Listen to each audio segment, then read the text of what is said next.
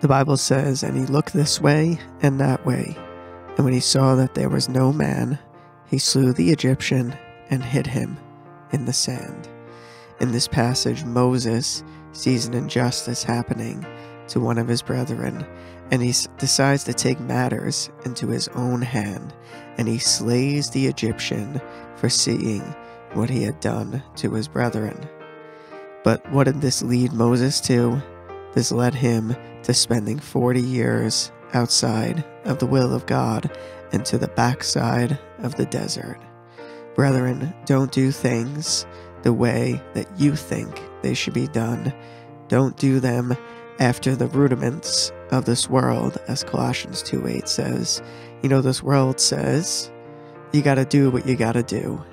Well, the world says you have to make your own way in this world. Or as old Blue Eyes said, I did it my way. Or the new one is, do you. Brethren, don't do you. Do God.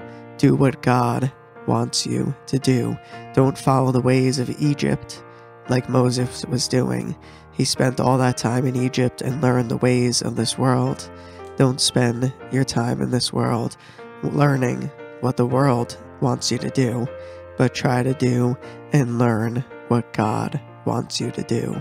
Jeremiah 17, 5 through 8 says, Thus saith the Lord, Cursed be the man that trusteth in man, and maketh his flesh, maketh flesh his arm, and whose heart departeth from the Lord. For he shall be like the heath in the desert, and he shall not see when good cometh, but shall inhabit the parched places in the wilderness, in a salt land and not inhabited.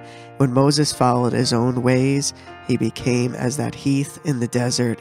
He spent those forty years in the backside of the desert, out of the will of God. But when you trust the Lord, as verse 7 in Jeremiah 17 says, Blessed is the man that trusteth in the Lord, and whose hope the Lord is.